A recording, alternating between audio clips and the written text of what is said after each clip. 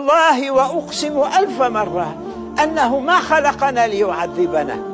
خلقنا لننعم بدنياها أعد فيها كل خير. لكن علينا أن لا ننسى أن هذا الإله الكريم نريد أن نشكره.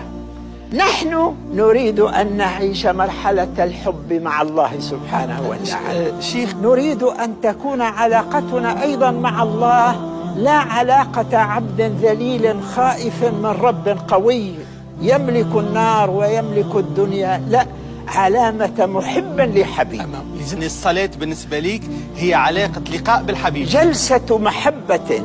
ولذلك عندما أجلس أقول له يا حبيبي غارت النجوم ونامت العيون وخلا كل حبيب بحبيبه. وها أنا بين يديك يا حبيبي يا الله. إن دفعتني عن خدمتك فإلى خدمة من أرتجي. وإن طردتني عن بابك فإلى باب من ألتجي. وعزتك وجلالك لن أبرح بابك حتى تريني آية رضاك. لأنه ليس لي رب سواك فأدعوه ولا إله غيرك فأرجوه أجمل مناجاة أعيشها عندما أجلس بعد صلاة الفجر. بيني وبين الله أقول له يا حبيبي هذا الليل قد أدبر وهذا النهار قد أسفر.